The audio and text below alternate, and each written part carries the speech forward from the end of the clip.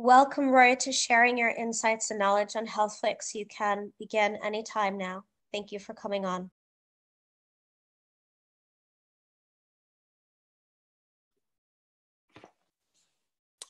Hello. I hope everyone can hear me okay. And thanks for tuning in. I am a little bit far away from the screen to do some of the exercises, but I'll come in to speak first of all. Come closer. Um, I've got um, a few things to say about the, the theory be behind the practice before we get on to trying out some exercises. Um, a little bit of an intro to me first. My name is Rory Lemon. I'm an osteopath as of qualifying in 2014, but I've been working with massage and bodywork since the year 2000. And it's been a, pro, a long sort of lifelong process of looking at the mind body stress and self healing mechanism sort of journey that I've been uh, interested in since, yes, around, sort of 24 years old. And um, I was uh, naturally healed with uh, reflexology. In fact, uh, I had 14 weeks of it as a as a sort of treatment management plan, and um, I had a lot of emotional and mental stresses and issues at the time, and it all cleared up by natural means, uh, by pure touch and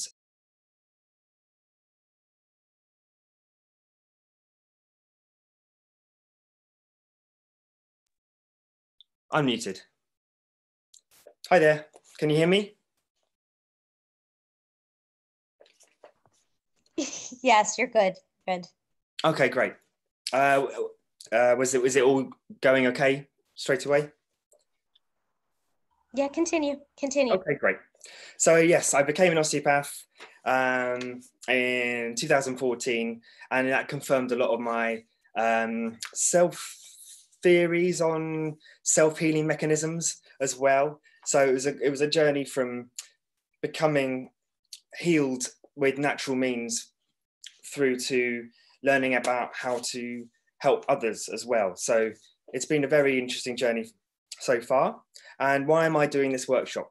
Well, so there's there's there's things I've noticed about how uh, um, different um, practices, movement practices, have helped um, us as humans to maintain our health. And there's certain movements that I've noticed that influence the lymphatics specifically from learning about the lymphatic system as part of learning about the whole body. And um, so there's there's there's really three different concepts that inspire what I've been um, interested in looking at, which is the lymphatic health exercise approach, which basically is something that I came up with, um, but it's based on the the concepts that inspire it, if that makes sense. So it's it's not new information; it's just noticing a way in which we can move healthily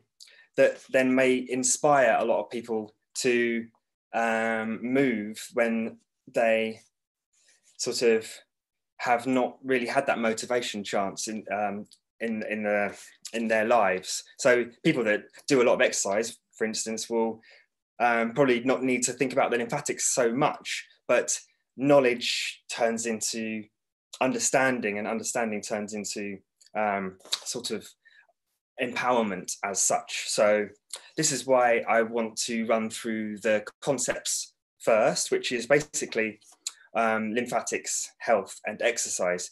So before we get on to doing some movement, lots of fun movements. Um, just want to talk about what is health. They're all concepts. Health is a concept. It's kind of ungradable and multifactorial when we're looking at it holistically, which means that it's very difficult to pin down exactly what causes are better health or what causes worse health because there's so many different things that do, that, that do affect it but you can kind of break it down um, into things like moving well breathing well whether you're sleeping well whether you are um, whether you have a sense of self-expression in your life or sense of purpose all these different things can make a big difference to whether you feel healthy or not. But at the same time it could be that health also you feel unhealthy in the moment through one particular thing that tips the balance. Or you could feel very healthy by doing one particular good thing that you think is good for you. So there's a lot of different things that affect our health. And just knowing that for instance moving is one of those factors that could potentially help us then that's why i think that i'm talking about the lymphatic health exercise for those kind of people that need motivation to move.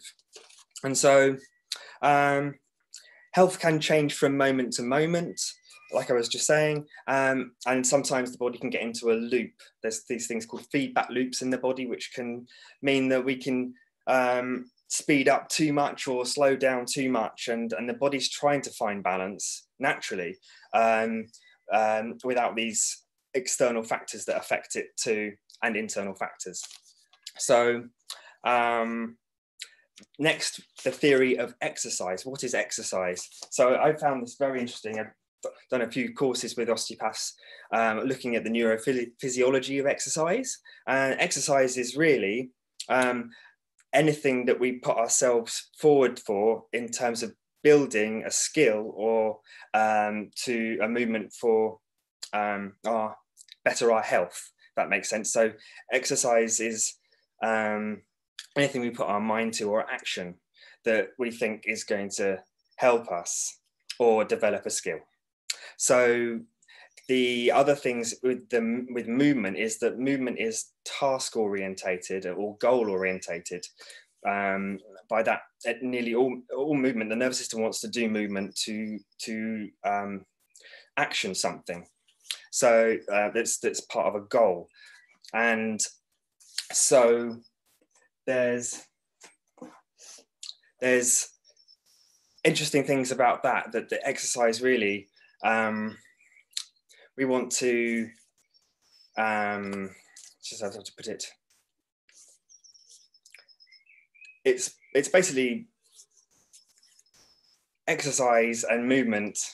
So sometimes I'm also dyslexic, so sometimes my mind can go blank if I'm I'm in the middle of a flow. So uh, I just had to let you know that. That's why I've suddenly just paused for a moment.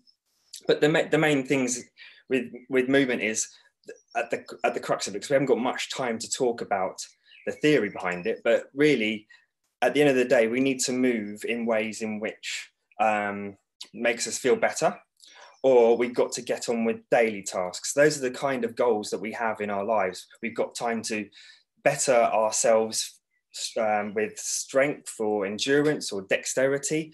Those are things we want to build or we just need to get on with daily tasks. And symptoms and things like this can stop us from doing the daily tasks. And that's where that's where um, healthcare and things can come in into play. But the the main process is that um, yes we want to either do something that we enjoy doing or we need to do something we need to do.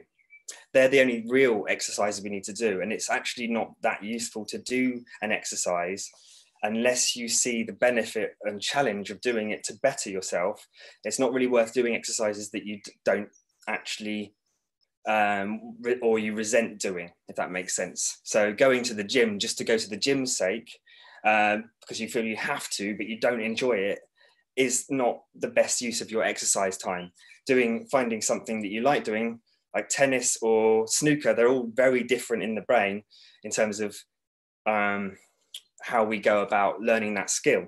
So find something you enjoy doing and build on it. That's important for your health.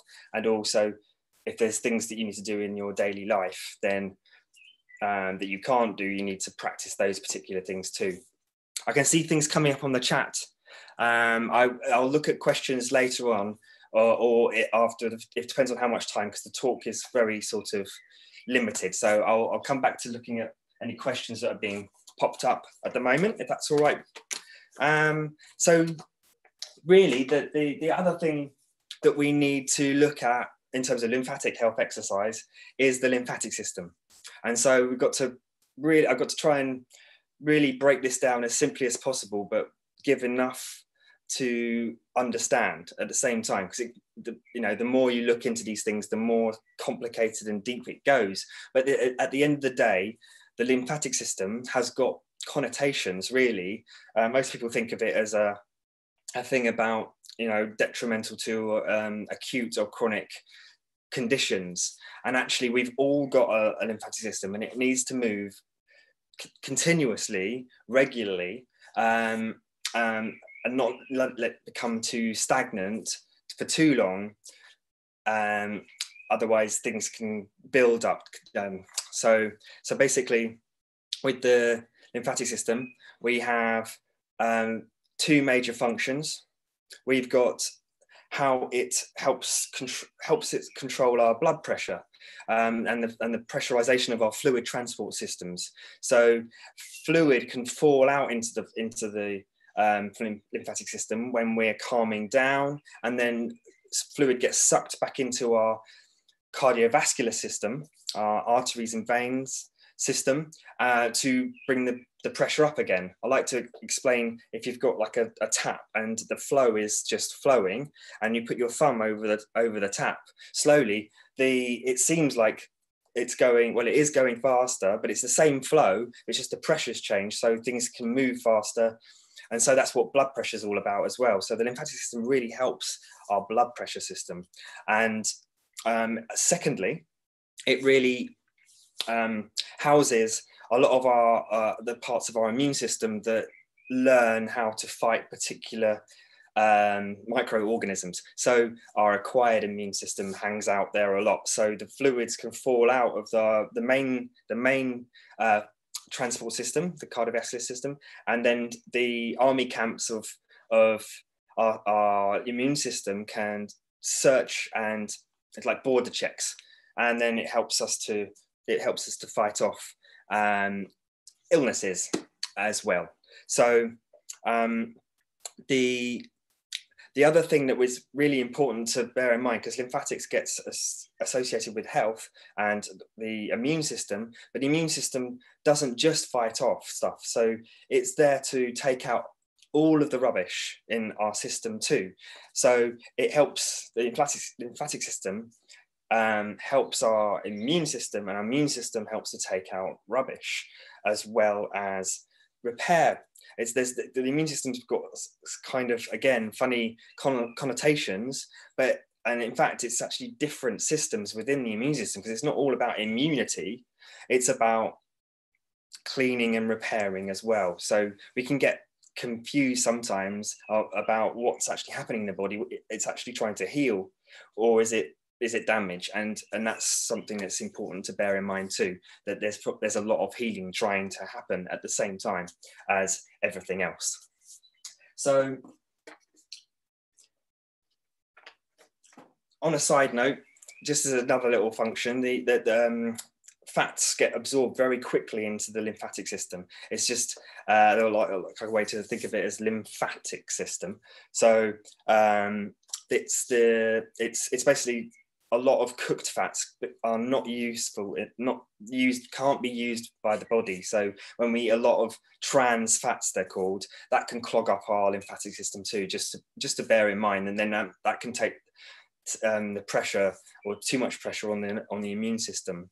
And so, yeah, these three functions of the immune system, in, uh, immunity, uh, immunity, um, taking out the rubbish, and repairing, if one of these functions is happening too much, then then it might not have as much time for the other stuff as well. So this is a concept that needs to be looked in further, I think, in terms of science. But it's it's certainly it's kind of obvious in some ways that these processes get somehow uh, compromised by overlook overworking in other areas of those functions, if that makes sense as well. So the the next thing I wanted to talk about in terms of the theory of lymphatics is is um, the anatomy of the lymphatic system is very important to know where it all is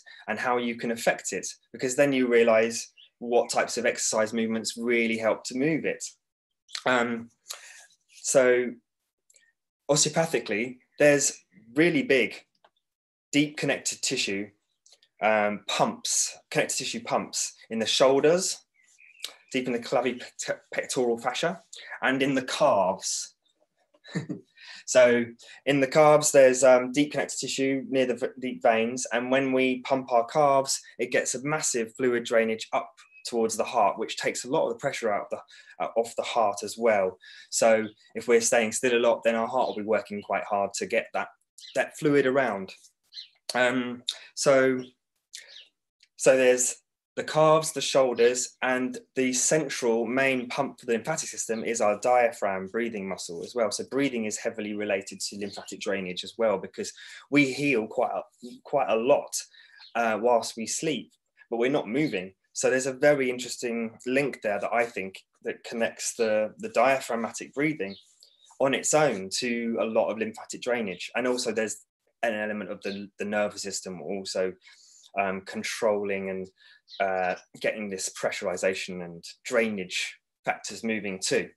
So, but in terms of exercise, um, we're gonna. Uh, I was thinking thinking about breathing because it's when when once you've got the theory behind it, then you can also um, come back to the health of the mind as well. So the health factor of mindful exercise and movement is important. So once you've got the movements in a flow, a lot of them are pumping movements, then um, you can come back to your breath and be mindful and not have to think about what you're doing as a theory as well.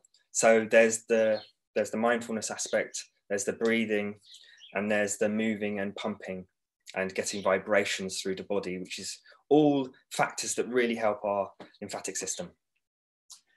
So, um,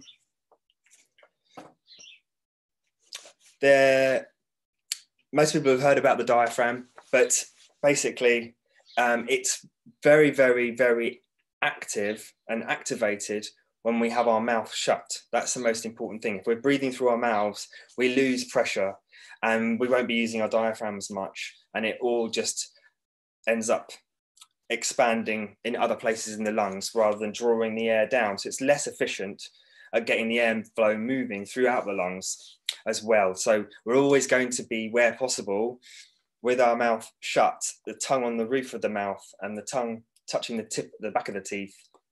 And uh, we're drawing in the air slowly, as, as slow as possible. Um, when we when when we speed up in exercise, we don't want to um, start gasping too much. Just if, if you notice that you're getting air hunger, then you just um, go slightly deeper with your breath. But it's it's about relaxed um, diaphragmatic breathing. If you if, if you don't know about um, potentially where the diaphragm is and how to breathe, just quickly before we go through the, the, the other movements, um, it's quite good if you take your hands like this and just draw it down and just let your arms crossed just land on the on the ribs there and then you and then breathe in slowly through your nose relax the shoulders and at the same time and you'll feel your belly expand underneath. So that's where you're aiming and you can also check by um, putting a hand on the belly and a hand on the chest and just noticing and seeing if you can breathe just with your belly. And that's that's a whole sort of exercise process that takes time to learn as well. So but we're going to move on from that. So breathing is important to focus on nasal, relaxed, slow. And with, with, with all these other exercises, again, it's dropping the muscles where possible. When you're learning a move, movement, you're going to be quite mechanical with it and following it, first of all. But it's once you've got the hang of it, try to just drop your muscles because your muscles will drain much better when they're relaxed too. Because forces travel for through stiff things much much like straight through, where if it's more relaxed like water, then you'll get drainage throughout the whole system. So it's important to try to drop and be relaxed when you're doing these motions too. That's enough of the theory now. I hope that wasn't too much, too much information too quick. Um, so let's get on with some fun movements. Um, again, we'll look at some questions. If we've got time afterwards, you can always um, send me a message uh, about this later. So we talked about breath control. One of my first and favorite one, if we're, we're waking up the body, these, these key exercises run through uh, from more calm to upbeat. So it's ideal. This this order is ideal for if you were in the in the morning waking up, or if you're feeling fatigued, wanting to wake up. Then do it this order. You can also do things in a way in which you're doing the upbeat stuff and working down to a calm if you're trying to uh, relax yourself down and you're feeling wired, if that makes sense. So first one I like to call it, I'm just going to give a bit more space, step back a bit. And um, first one is what I like to call as a, a reach out or reach up and self hug. So we're going to breathe in slowly, relax the shoulders, reach up, nice stretch, and then breathing out. And just come around and V-shape your arms. You can drop forwards and just give yourself a little bit of a stretch in the spine, not tilting from the hips too much, just tilt from the middle of the back and breathe in there as well. And give that all a nice stretch as you breathe. And then, and then, and then breathing in. I'm not going to run through it as a class at the moment. This is just a workshop.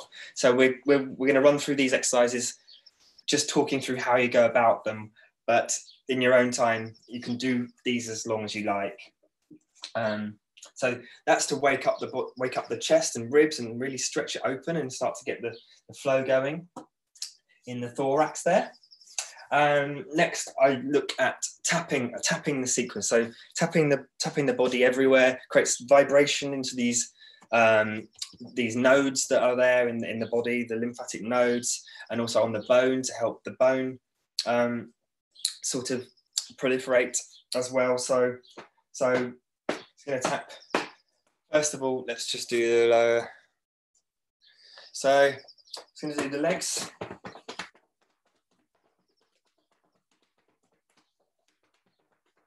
All over. Nice flat hands, loose wrists, heavy, heavy but relaxed. Just round all the muscles.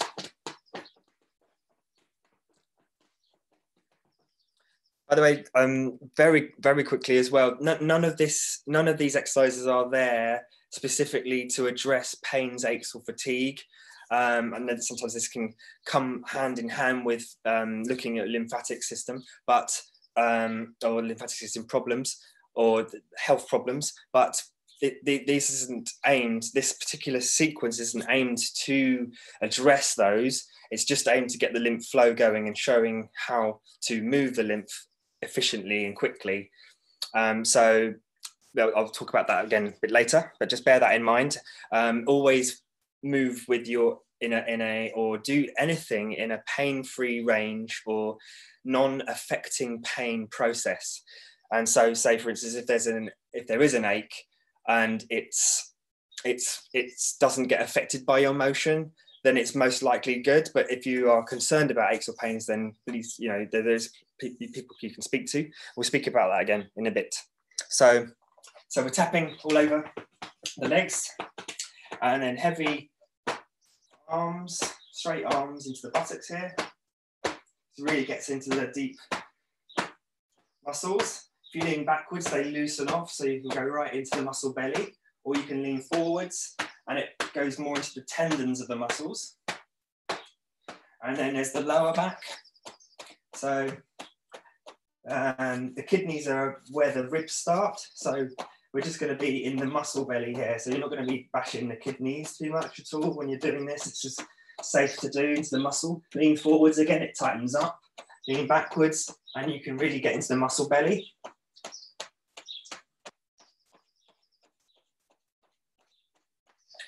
And then some abdominals.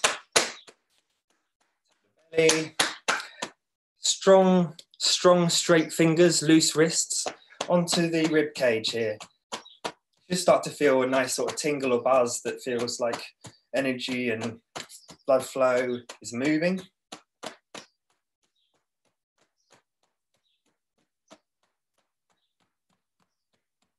To the chest here, again, really short, so hard but relaxed, loose wrists on the fingers there.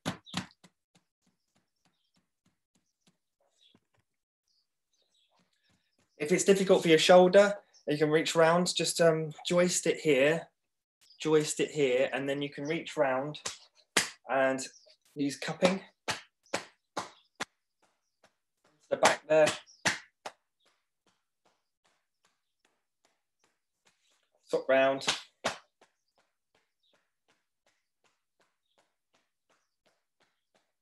Down the front of the arms, down the back of the arms. And we're brushing over this quite quickly.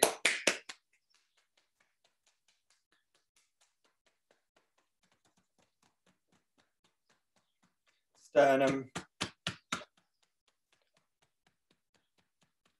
Thyroids around here. It's good to get that shaking, moving. And then forehead onto the cheekbones. Tapping anywhere on the bone is great. It's really stimulates certain hormones like osteocalcin, which is a good, good hormone. It gets created by the bone.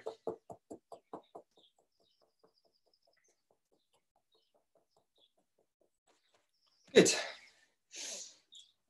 Now we're going to come back to the breath again. Just it's, it's, this is a useful point where you could check in and just feel how things are flowing. Back to the breath, relaxed.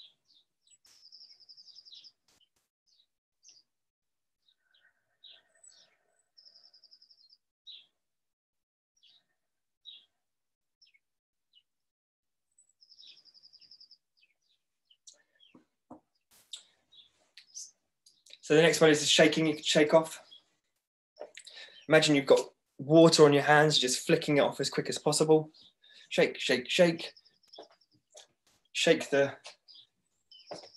shake the um, ankles.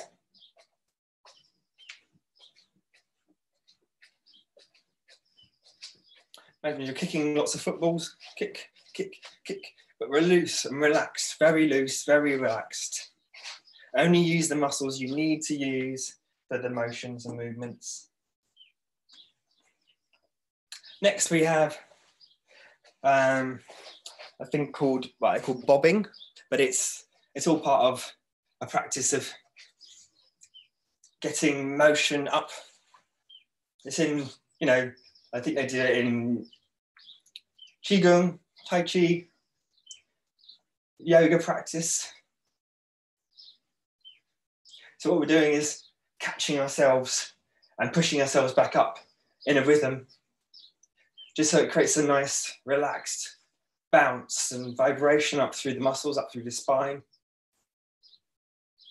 This is ideal to do for you know, a good couple of minutes at least to really feel a benefit. But any of these things, if you've got a little bit of time, just do 30 seconds where possible. The head go, let the shoulders go a bit.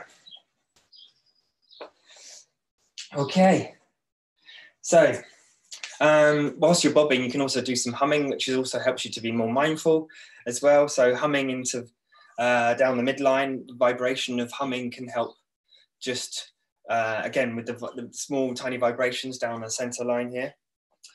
Um, there's also now we're on to a lot of more pumping exercises. So that's all the sort of wake up, small vibration stuff uh, before. Then we have calves. So again, we talked about it before, but there's there's three different. You can see here. There's there's three different parts to the calf motion that creates a really good fluid drainage, and that is stretching and squashing of the calf itself, the amount of hinge you can do and the um, element of the of the archway flattening and squashing. You combine all three of those and you get a massive um, combined pressure change and fluid change. So um, you, if you don't have a surface, then you can literally walk up, squeeze, relax, alternating. Or there's also just more of a, like a toe off jog, depending on what your capabilities are. There's also going off, the, off the surface, which creates a bigger hinge but you're not going to do anything that you go too deep into a stretch. It's just about the pump. Um, with any of your tissues, you don't want to go too fast into the end range of a stretch. You just want to stay in your mid range and just get flow going. If you're going to go deep into a stretch, you go slowly just to protect those tendons and those joints. But if you're doing fast pumping, you stay mid range but the further you can go back into the into a start of a stretch point, the better. So there's also push offs, I like to call them, because uh, it's it's less pressure. You can, if you're used to doing push ups, then do push ups. This is going to get the shoulders going. But off a surface again, nice and simple. And the, the closer you go to a to an upright surface, the less effort it takes, but the more pump you can still manage. So even here, you're going to get a pump going if you're not used to doing push-ups. And you can build your um, endurance to forces like that slowly over time. Next one is a classic Qigong move, which I think is absolutely brilliant. If you've only got a little bit of time, then it's definitely worth doing this kind of motion because again, it's that bobbing technique. We're just going to allow our arms to be very relaxed, flicking up, letting them drop. Pretend they're not yours. Drop, flick, drop. And when you get into this motion, you can go for a while and come back to the breath now. Once you've got used to it, relax and slow, deep breath in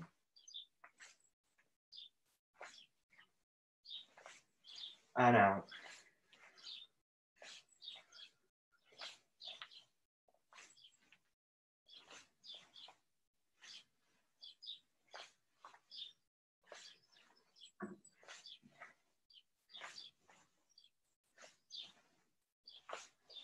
So that's lovely. I love that one. That one's brilliant. Um, the next, these where this is where it starts to get a bit fun. So there's three different spinal motions. There's there's two big ligaments on the front of the back of the spine, and when you bend the spine, you get a lot of drainage for the discal area, the joints in the little joints in the back, and where the nerves come out, and you get to drain the muscles that attach to all the the rectus spinae muscles of the, that keep you upright in your posture all the time. So, so there's three three major motions. There's forwards and backwards, when we're bending forwards or leaning backwards. And then there's side bending. And then there's rotational movements. So first of all, um, this, this might look a bit like Mr. Bean at the disco, first of all, but we're going to just find our, find our pelvis and give it a little bit of a tilt. If you're not used to this motion, then just put your, put your hands on. Feel feel your thumb getting lower than your fingers. And just and if it's still difficult to do that without moving then just try turning with your hands turning your pelvis until you get the feeling of the motion and then just do it on its own. Once you've got that motion you keep going and you're creating a c-shaped spine or an s-shaped spine so there's c-shape and then s-shape so you can just bring the shoulders forwards a little bit as we tilt, and we can drop the head down slightly as well. We're not pushing too hard ever to into these joints. We just get them moving a little bit. You can slide the hands down the, the thighs if that helps to get that upper body moving. And then once you've got that, you can start to pump the shoulder blades forwards and backwards. So it's S shape, hands come back, C shape, hands come forwards, Nice relaxation, nice relaxation. Drop and breathe. and out. You find your own rhythm with all of this, whatever you like, whatever feels good.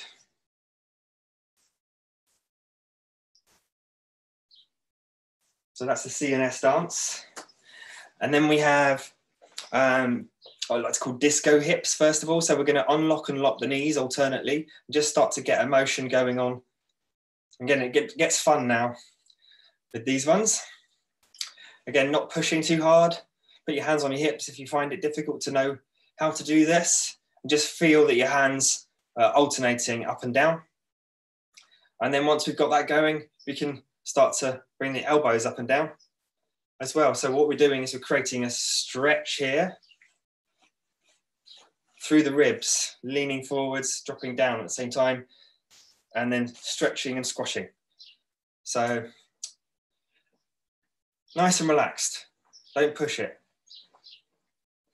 Can even reach up, reach up. And if you want to do it a bit slower and it's more of a squeezy one, that's good. Just reach up. Then the knees, the knees dropping down there and reaching up there. Then knees dropping down there, reaching up. See if you can see that. And then back to back to relaxed. Mid-range. A little bit of a dance. So finally, there's kicking, it, walking on the spot here. First of all, this is a rotational one. So we're kicking up. The knees come straight up. And then we're going to twist a little bit over the knee that's coming up. Twist over, twist over, twist over. Relax.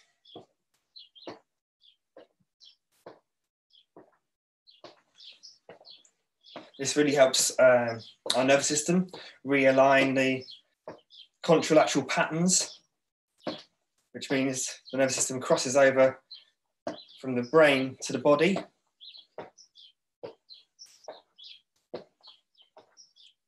Helps with coordination and balance. And then we can tap, tap the feet as well. Same, same rhythm, tapping the feet we're stretching the hips, stretch the hips, stretch the hips a little bit, relax. Keeping that going. The hips are stretching and we can reach up and away from the toe that's pointing away from us. It's reaching up, reaching up, reaching up, relax, relax.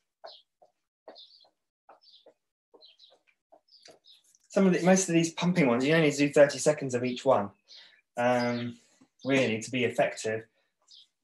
If you're doing this, variety is the most important thing. Variety is a spice of life. So, um,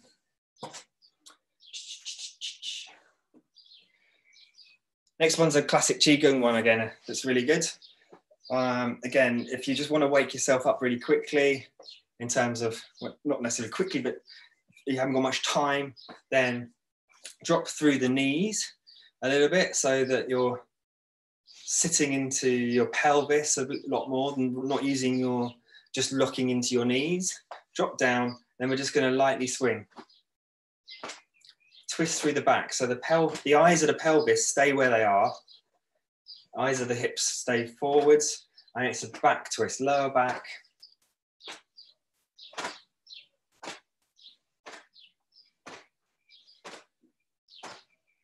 allowing it all to swing, let the arms swing, let them just flap on the front and the back.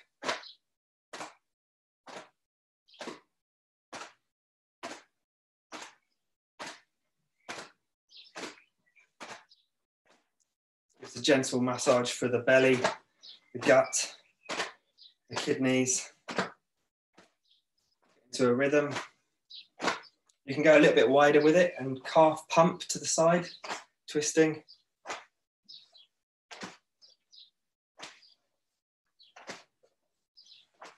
Or back to really relaxed, short, sharp shock movements.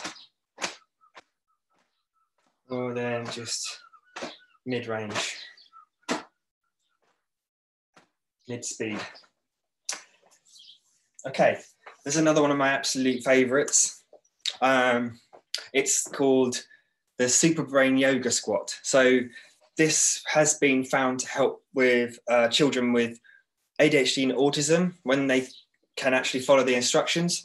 Then they, because um, they, they find it very difficult to self express. So there's a lot of stress going on with with them, and um, so it, it naturally um, clearing that lymphatic drainage to to their head and the blood the blood to their head and getting fresh blood in is going to help them to calm down.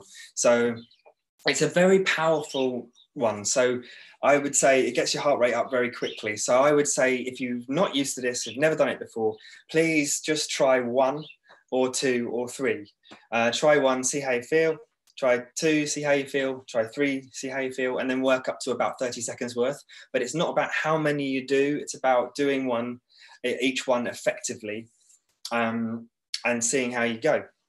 So all it, all it is is, is essentially a squatting down whilst you breathe in through your nose, whilst you create pressure across with your arms here.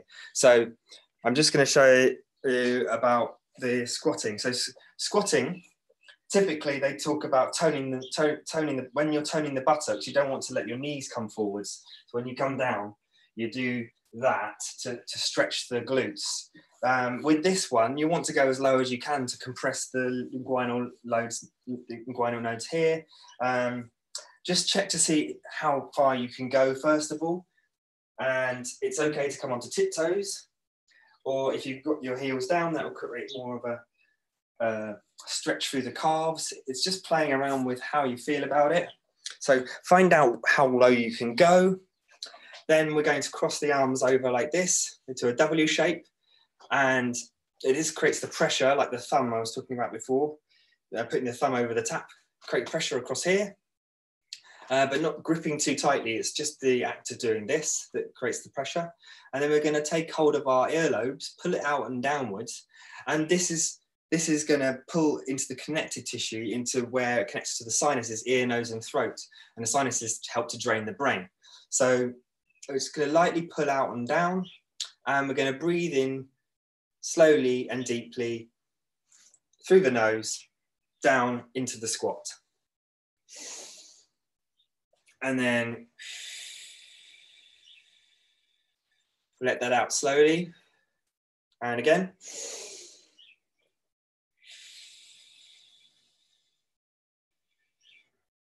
And again. So I'm just doing three there. You can see how you go with that. Notice what you felt before and afterwards. And I think that there's, I, I often notice a very clear energy change, energy difference. Heart rate goes up and I feel more awake afterwards. Um, more about that later.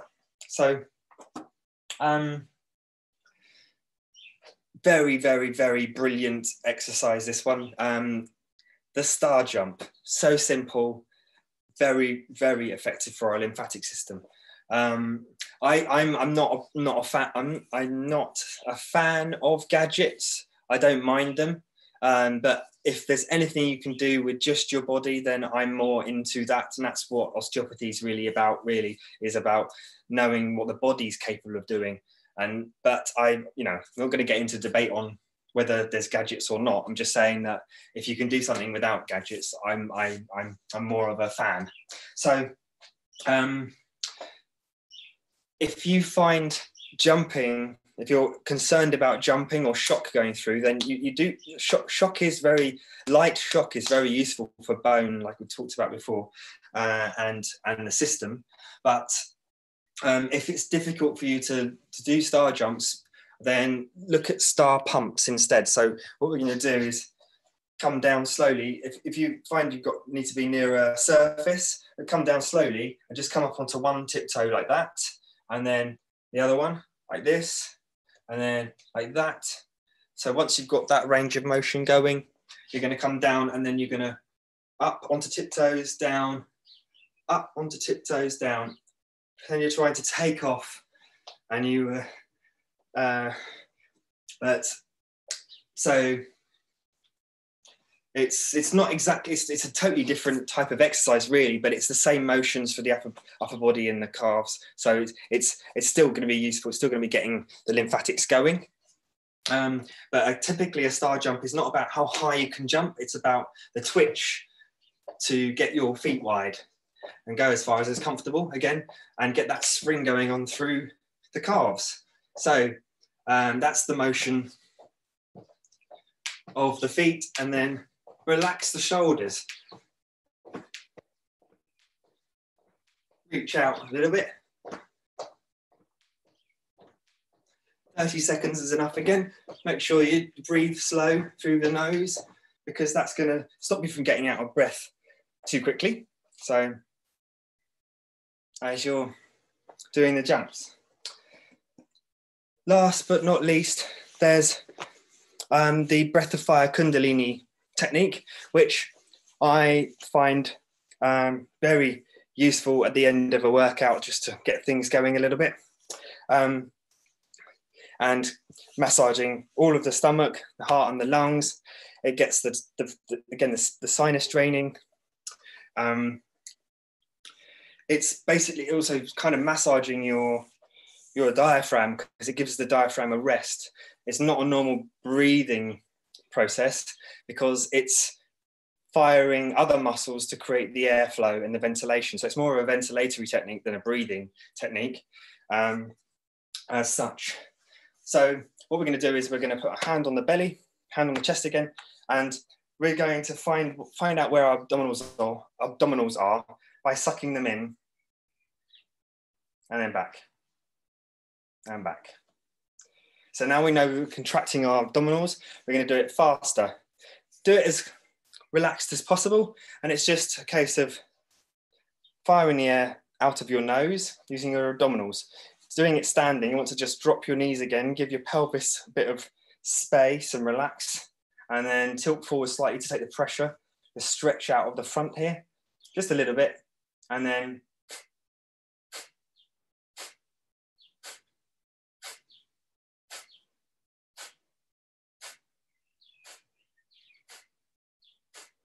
again, that one's that one's brilliant for getting the lymphatic flow going. Um, just be careful with menstruation, uh, obviously.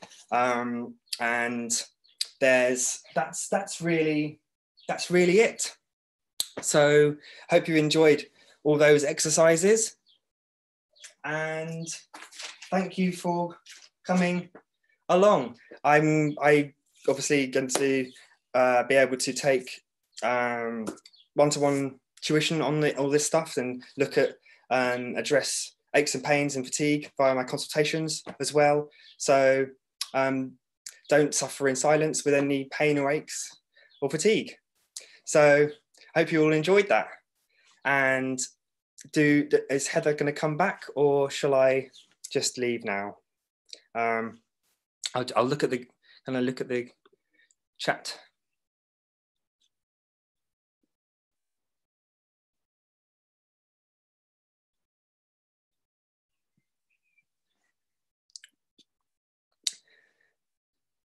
Okay. Thank you very much. Any questions? The, the recording will be available on the HealthFlix YouTube channel.